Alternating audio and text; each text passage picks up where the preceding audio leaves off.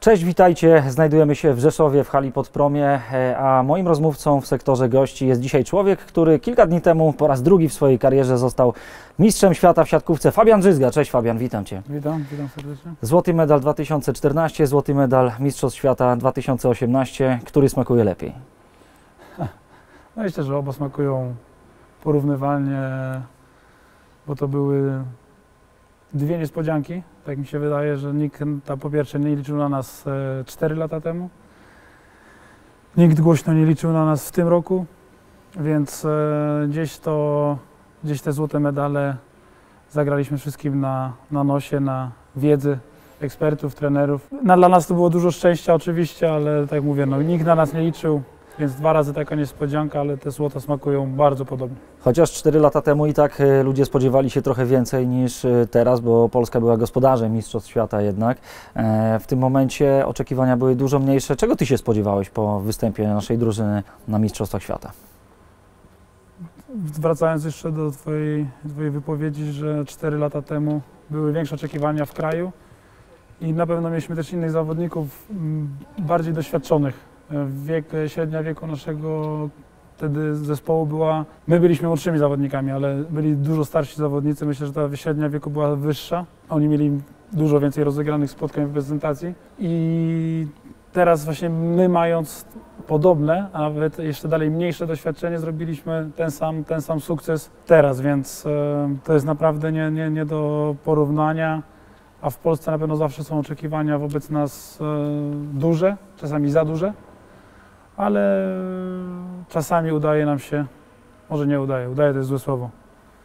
Czasami- Wygrywamy. czasami pewnie wygrywamy. Dokładnie, dokładnie. Bartek Kurek, którego 4 lata temu zabrakło e, w kadrze na Mistrzostwa Świata, teraz był, teraz przyczynił się bardzo mocno do e, tego sukcesu i zapytany e, o to, jak smakuje Mistrzostwo Świata, powiedział, że pytał przez 4 lata kolegów i wszystko, co mówili mu na ten temat, jest nieprawdą, bo tak naprawdę nie da się tego opisać słowami. Ale może Ty spróbujesz, może spróbujesz powiedzieć, jak smakuje Mistrzostwo Świata. Jest to faktycznie troszkę nie do, nie do opisania dla, przepraszam za określenie, dla takiego zwykłego Kowalskiego, żeby opisać mu to słowami, bo nikt nie zdaje sobie tak naprawdę sprawy, ile to jest wyrzeczeń, ile to jest pracy, czasów na treningach, w podróżach, e, poza domem, bez rodzin. To nie są tylko treningi siatkarskie, to jest naprawdę wiele, wiele godzin spędzonych poza domem i zawsze takie momenty, jak się coś wygra, zawsze człowieka mega cieszą, mobilizują do dalszej pracy.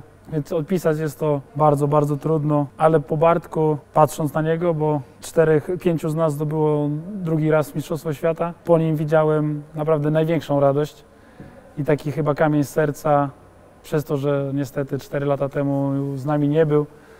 Więc ja naprawdę patrząc na niego, aż mi się serducho cieszyło, że zagrał kapitalny turniej i pomógł nam sięgnąć po złoto. Bardzo ciekawie na ten temat wypowiedział się też trener Heinen. Zacytuję jego słowa.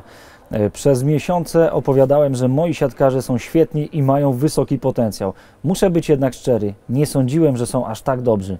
Powtórzył to później na lotnisku. Wygląda na to, że tym zwycięstwem w finale, tym złotym medalem Mistrzostw Świata zaskoczyliście nawet własnego trenera. Zdecydowanie. My go zaskakiwaliśmy, myślę, w każdym prawie spotkaniu na tych mistrzostwach. Pamiętam po meczu z Serbią jeszcze w Warnie, to był pierwszy mecz z Serbami. Poszliśmy do szatni po meczu, gdzie już awansowaliśmy do najlepszej szóstki i powiedział, nie sądziłem, że możecie grać tak w siatkówkę. Więc e, on nas poznawał, zn- wiedział, że mamy potencjał ludzki, siatkarski, jakieś talenty, ale nie sądził, że my możemy wypalić tak szybko.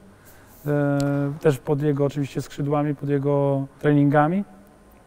Więc był zaskoczony. Potem mówił nam szczerze, że najtrudniejszym przeciwnikiem dla nas może być tylko i wyłącznie, mogą być tylko i wyłącznie Stany Zjednoczone.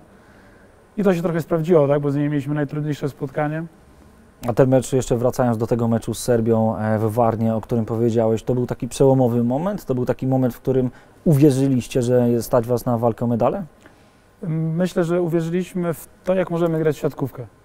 Bo to było takie, takie spotkanie, które po pierwsze albo jesteśmy w szóstce, albo nie.